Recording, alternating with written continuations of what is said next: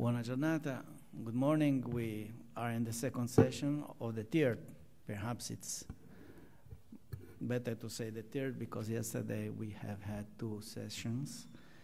And today we have two uh, presentations one of Professor Patrick Bernhard and the other of Professor Haim Saadoun. Professor Patrick Bernhard is uh, working in uh, the Trinity College of Dublin, Dublin, yes? Um, at the moment, it's Potsdam, Germany. Okay, Yeah, okay, okay. And uh, he developed uh, analysis, cultural analysis, social and political transformation, and crossovers and exchanges that took place between European and extra European societies. I saw that you wrote also on uh, the persecutions in uh, North Africa during the war, before the war, and so you have uh, you are very close with our session today. I will thank you for your presentations.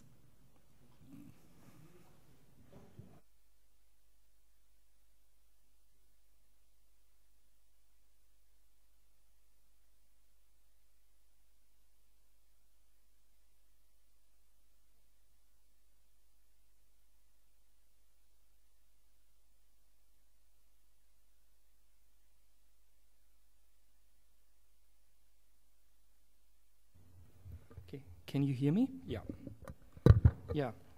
Thanks a lot for this uh, very kind introduction, and it's my special thanks go to uh, Chaim and Tamar for having invited me to this uh, conference. It's uh, for me, it's kind of coming home because I used to live in Rome for four years, so getting a little bit nostalgic today. Um, yeah. Um, what I will present today will probably not be completely new to you. You're all uh, experts in the field, but I think uh, in the way I present the material and try to provide a different reading, this will be hopefully new and uh, in a way innovative. Um, um, especially what, what the basic idea of my talk will be uh, is to try to show that we cannot understand uh, the wartime persecution of Jews without taking into account the previous years, the, war, uh, the peace period, and especially the colonial context in which these uh, um, crimes um, happened. Uh, and I understand colonial in the widest possible sense. Um, to this day, indeed, um, there is no consensus on what fascism and anti Semitism meant for fascist Italy. While some scholars consider the persecution of the Jews to be of secondary importance, sorry, I, I forgot, I have a PowerPoint. Yeah. And you will see, by the way, you will see uh, not only slides, but uh, pictures as well. Um, I will even talk about architecture and will show you some uh, pictures. Okay, just to go back, while some scholars consider the persecution of the Jews to be of secondary importance to the regime in Rome and motivated by little more than a desire to make uh, strategic concessions to its mighty Axis partner Germany, for others, Italy's violent policies of exclusion were a manifestation of the racist nature of fascism and thus reflective of its true essence. The second uh, school of thought has emphasized how Italian persecution of Jews and other ostensibly inferior races was carried out independently from Germany and often in conflict with Nazi racial policies. Looking specifically at North Africa as an example, I would propose a third and a post revisionist uh, reading of this history. When persecuting local Jews in Libya and Tunisia, Italian authorities were neither subordinate to the Germans nor did they act in complete isolation from them. Rather, despite numerous points of difference and conflicts, Axis relations in North Africa during World War II were marked by mutual exchange and cooperation uh, uh, based on a shared worldview when it came to anti Semitism. In a final analysis, racism was by no means just an aspect of difference between the two regimes, but was actually also an element of interconnection, I will argue. Uh, and my argument has two parts. In the first part, um, I will deal with instances in which the Germans borrowed from the Italians before the war broke out in Africa in September 1940, and this learning prepared the ground uh, for future collaboration between uh, the main Axis partners. I will argue that right from its beginning, the Nazi regime took a special interest in the fascist biopolitics that were being developed for application in Italy's new empire, especially its program of racial segregation. Indeed, in the late 1930s, German authorities were considering deporting racially undesirables to Africa Italiana, thus using the colonies of its main Axis partner to purify the Volksgemeinschaft, or national community. Um, and the second part, you see that here, um, deals uh, with the war period. Um, I will show that exchange and learning were mutual and based on a shared racial worldview. No? After 1940, anti Semitic organizational structures and practices were transferred from Nazi occupied Europe to Africa. In Tunisia, and you, some of you might know that, German and Italian authorities installed so called Jewish councils, charged, just like in Poland, with organizing the forced labor of Jewish men. This was, um, as far as I know, uh, unique to the history of Italian fascism. Nowhere else under fascist occupation did authorities take such far reaching measures. Okay, let's start with the first point. Um, if there was a topic fascist Italy and Nazi Germany agreed upon, then it was the idea of empire both regimes repeatedly identified empire building as a vital sign of a nation's health. As more recent research has shown, there was a close link between violent foreign expansionism and the domestic politics of racial regeneration and rejuvenation. Empires were to provide the necessary living space, as it was called at the time, for millions of settlers who, in turn, would improve the race, and uh, this means both in quantitative and qualitative terms. Yet there were not only considerable similarities between the two main fascist regimes, we can also see ideological crossovers and processes of emulation south and north of the Alps. It is important to know that for many years it was fascist Italy that inspired and I would argue paved the way uh, for the imperial policies of Nazi Germany. And I think this is less astonishing than one might think. Mussolini first took power in Italy in 1922, creating Europe's first fascist dictatorship. The Italian fascists had a head start of no less than 11 years on the Nazis and to a considerable extent uh, set the benchmark, so to say, for a successful right wing dictatorship. Indeed, when using the term totalitarianism, no, this is what uh, Ruth Ben Ghiat has told us, for a long time, people did not refer to Nazism and communism, but to Mussolini's regime as Bolshevism's enemy twin. To many in Europe and beyond, fascist Italy seemed to provide good solutions to the problems posed by modernity. And what made fascist Italy to German eyes so attractive was its versatility. It could be referred to in a variety of ways. Indeed, the polyvalent meaning it was given is key explanation for its success. Basically, the Italian colonial empire acquired three different meanings for Nazi Germany. Firstly, Mussolini's policy of conquest was a significant driver of colonial desires within German society. And you know, Germany at that time had already lost its colonies. Italian expansionism seemed to demonstrate that the German dream of empire was not necessarily over, that the country could perhaps still obtain its place in the sun. Secondly, the Nazi leadership was able to profit from this colonial enthusiasm.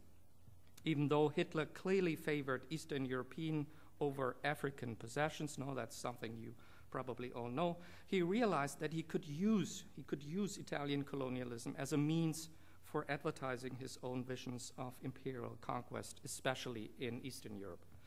And thirdly, and this is the most interesting point here, fascist Italy's colonial empire served both as a model for their settlement policies and dumping ground for the racially undesirables when the Nazis started to develop far reaching plans for a future German empire in Africa and Eastern Europe.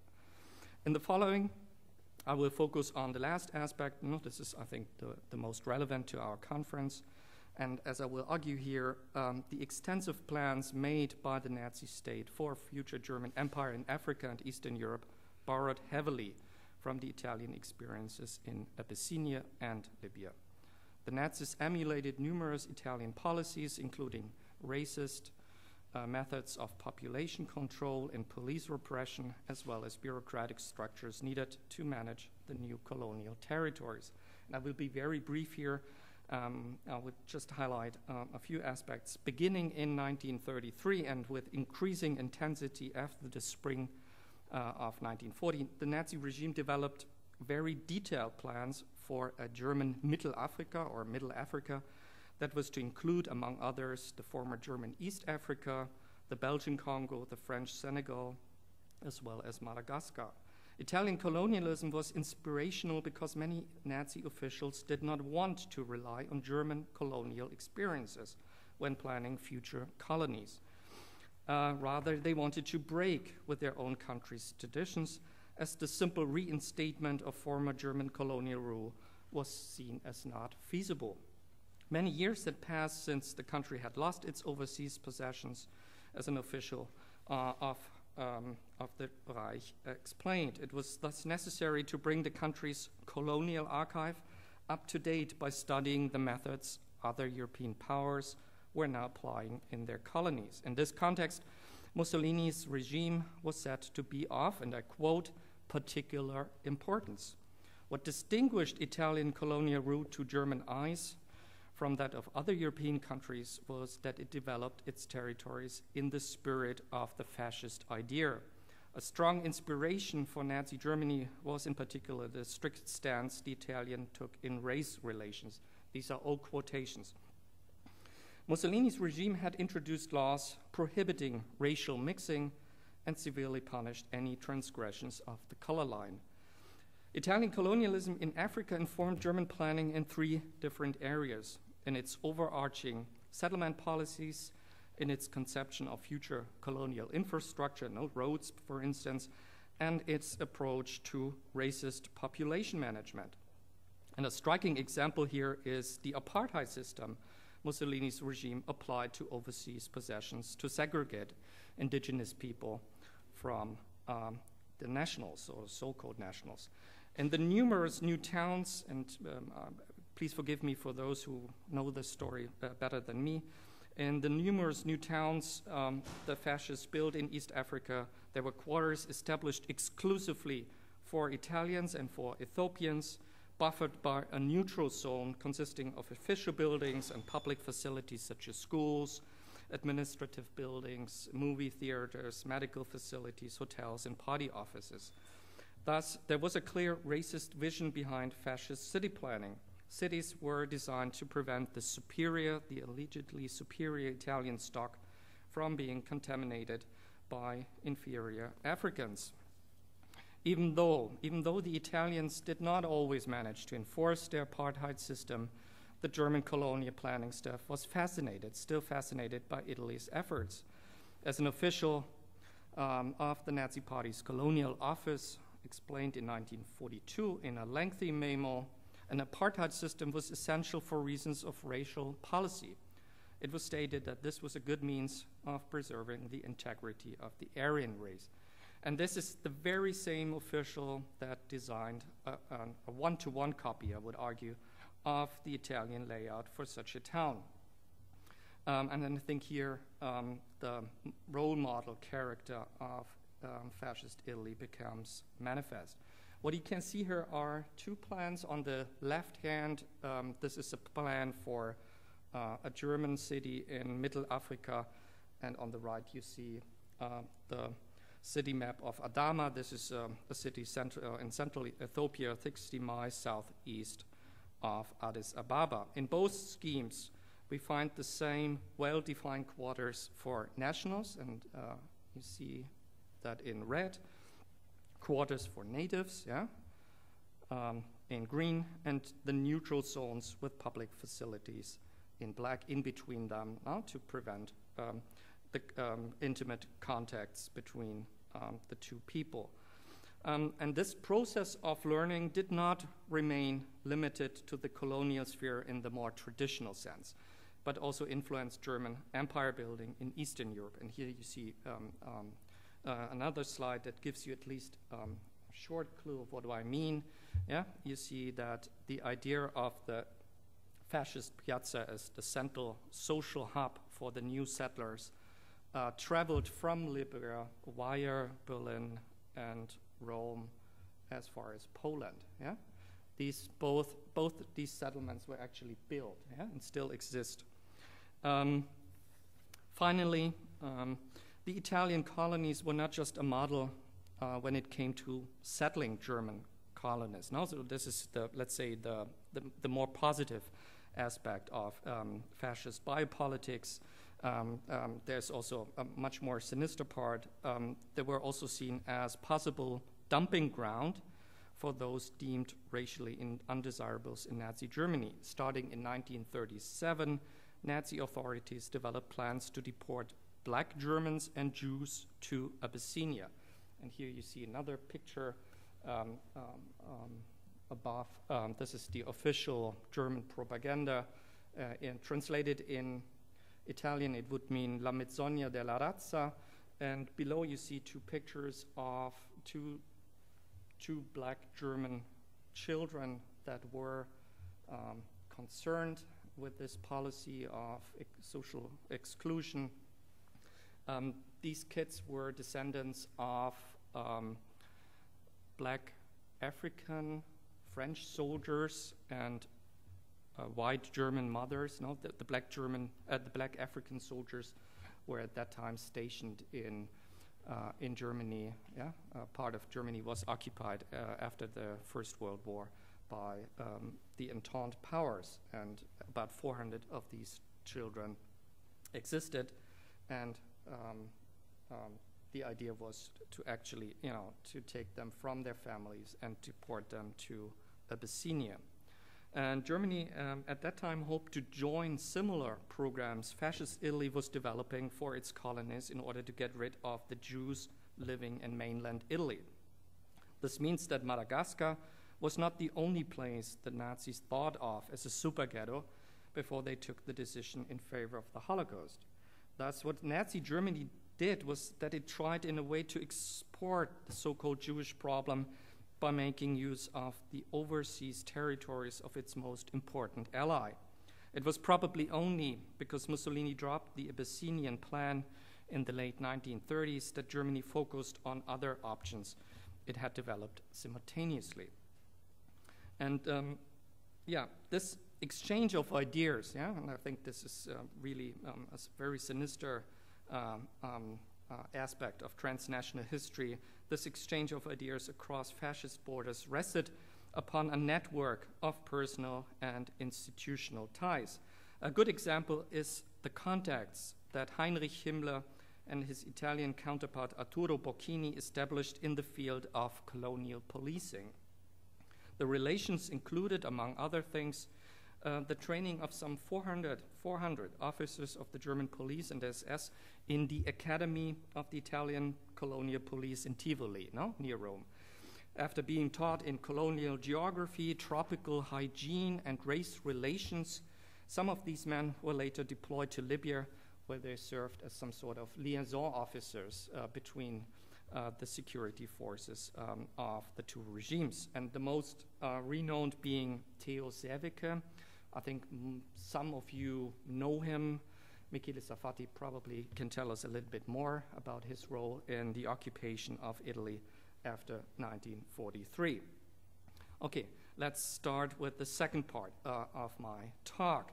It was these ties upon cooperation between Germans and Italians would rest in Libya during the Desert War when Jews became the subject of massive anti Semitic persecution by the fascist regime. as the events after 1940 clearly show the Italians and Germans both learned from each other in a mutual process of exchange. Indeed, despite constant quarrels over the operation of the war and growing German contempt for the allegedly poor fighting ability of the Italians, now this is something that became uh, very much talked about, even proverbial. To a certain degree, Italians still collaborated with and learned from the Germans when it came to dealing with the local Jewish population. In this context, I will highlight just two aspects that I believe are particularly relevant for our conference. The first aspect um, concerns the occupation of Libya. And let me be um, very clear here on where I think the Italians actually learned from the Germans and where they did not. Yeah, we will also we have to talk also about not learning. I argued that the Italian anti-Semitic policies in Libya were not simply the result of the growing German pressure in the country, in the sense that Mussolini's regime gave in only half-heartedly to please its Axis partner, whose presence in Libya was felt more and more after the arrival of, of Rommel's Africa Corps in February 1941. Admittedly, Libya, where Germans and Italians fought side by side, saw ruthless policies of anti Semitic persecution. Indeed, the situation in Libya differed, I would argue, from that witnessed in other states under the control of the Italian fascist regime, including Slovenia, Greece, and parts of Croatia. As I have argued elsewhere, fascist plans to persecute Jews in North Africa went beyond the action taken in Italy itself and in the European territories occupied by the Italian army. And most disturbing, I would argue, is the fact that from spring 1942 onward, when the Italian authorities set up concentration camps in the Libyan desert to intern the entire Jewish population, we're talking here about 30,000 people the lives of many Jews were at risk and many actually died. To be sure, in mainland Italy proper, Jews were also interned in camps, yet in none of these camps was the mortality rate as high as it was in the one in Giado. However, it would be incorrect to assume that Italy's brutal anti Semitic policies in Libya were due to the growing German presence in the country. Indeed, I have not found a single document that supports this idea. Rather, it appears that the persecution of Jews in Libya was shaped and driven by two factors. And this is A, the fascist regime's genuinely anti Semitic mindset, and B, the colonial context, the colonial context in which these policies of repression took place. As a closer look at the sources reveals, leading representatives of the Italian party and state bureaucracy explained and justified the radicalization of anti Semitic persecution in Libya by claiming it was necessary to combat the Jewish plutocratic world conspiracy. In the Libyan case, this idea fix was closely linked to the wartime events in North Africa. The fact that Jews had supported the British enemy was widely perceived as proof of an all encompassing plot against fascism and one of its most prestigious projects, and that is the creation of a new racial empire.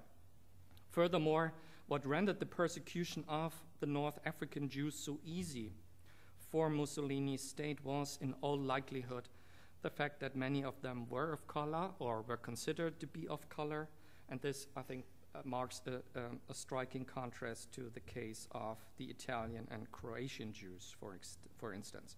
It was thus perhaps logical in the regime's terms to apply to Libyan Jews the same repressive measures that were applied to Arabs and Berbers uh, in the 1920s and 1930s. Insofar as this is true, we can conclude that colonialism did not water down uh, fascist rule, as has often been claimed, but on the contrary, um, uh, it was one of its major drivers. Acknowledging that fascist Italy carried out its policies of anti Semitic persecution in Libya in a largely independent fashion does not mean, however, that there were no instances in which the Italians learned or collaborated with the German authorities. Indeed, there were numerous cases of exchange and cooperation. In this way, it is important for us to recognize that the two regimes freely and voluntarily exchange information, learning from one another It was precisely because fascist Italy shared numerous racial and anti Semitic ideas with its German ally that it was interested in its techniques and instruments of repression. Thus, my studies differ from previous scholarly accounts concerning the motives. I think this is the, um, the key here the motives of learning and cooperation. I argue that the persecution of Libyan Jews was not a consequence of Mussolini's opportunistic policy vis a vis Germany, but was grounded in a racist and anti Semitic worldview. As instances of violence against Jews suggest, local Jews, this anti Semitic worldview did not remain limited to the upper echelons of the fascist state and party, but rather permeated various segments of Italian society. And as Rachel Simon has shown for the North African case, in the later phase of the war in Libya, Italian soldiers, often in collaboration with their comrades from the Africa Corps, um, harassed Jews, insulted them, and tried to force their way into their houses. There were various cases of robbery reported, as well as recorded cases of rape, which uh, appear to have been targeted at Jewish women because they were Jewish. Um, these crimes mainly occurred during the final withdrawal of the Axis um, forces to Tunisia, and it seems to have been the result of a desire for revenge, no vendetta due to the Axis defeat, the crushing Axis defeat at El Alamein. I think we should not forget that this defeat meant, really meant the end of Italy's dreams of conquest and empire. Um, it is possible that German Italian collaboration in matters related to the persecution of Jews even went a step further. Thus, the local chief of the Italian colonial police, Ugo Presti, handed over a list with the numbers of Jews living in Libya to German authorities in October 1942. I think this, is, um, this event is of great importance since the Wannsee conference, which had taken place only a few months prior to this conversation in January 1942, Heydrich and his men were making efforts to obtain reliable information about the numbers of Jews living in the areas ruled by the Axis powers. And here you have a transcript um, of the report that details a little bit uh, this yeah, very strange Italo German consultations, and I will just briefly read that. Please find attached a list of the remaining Jews in Libya and their geographical distribution. The general of the Italian police, Presti, who was so kind to provide it to me, has asked me to treat the list with discretion.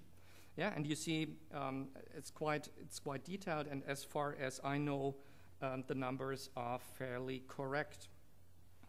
Um, I think future research will have to um, determine whether fascist Italy deliberately, deliberately helped to register people that the Germans were already planning to kill at that time.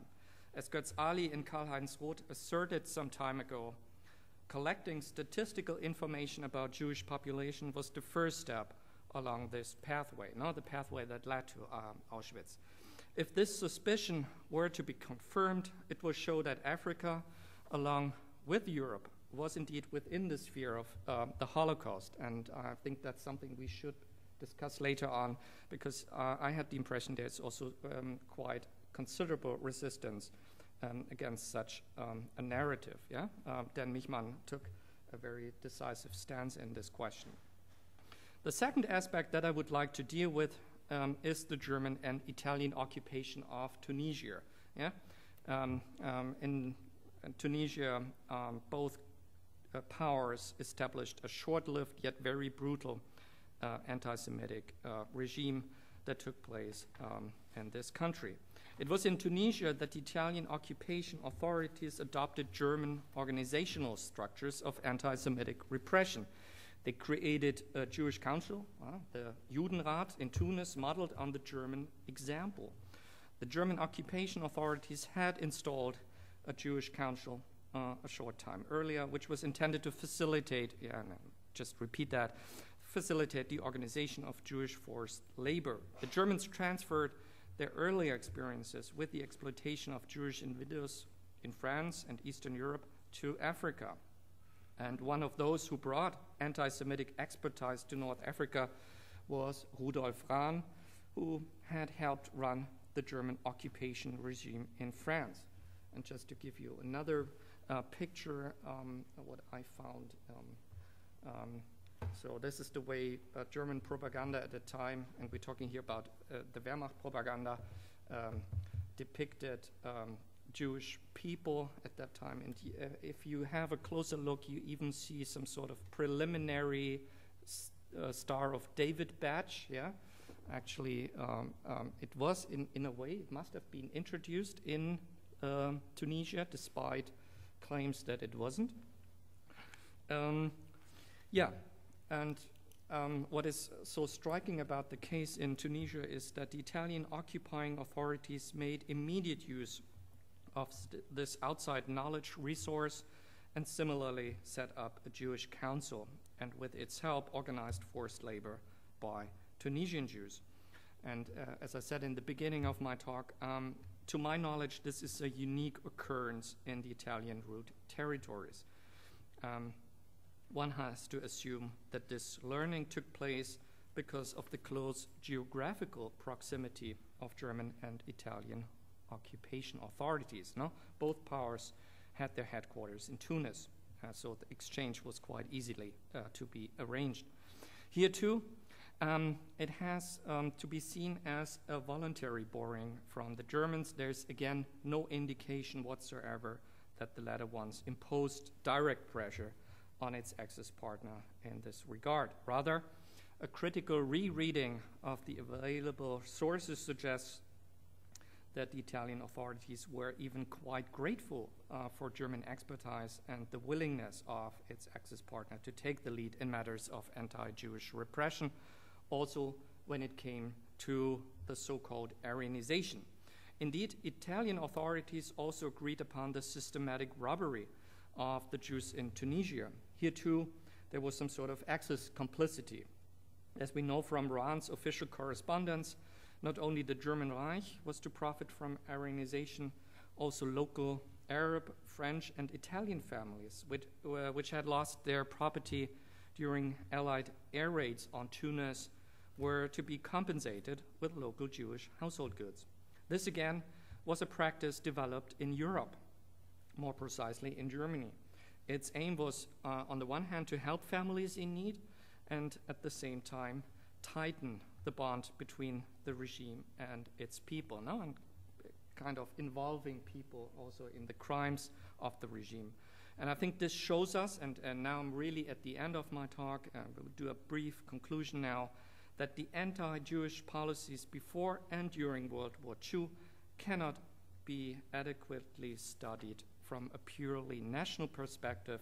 Rather, we have to take into account the ways the Axis regimes mutually influenced and reinforced their respective racial agendas. Thank you.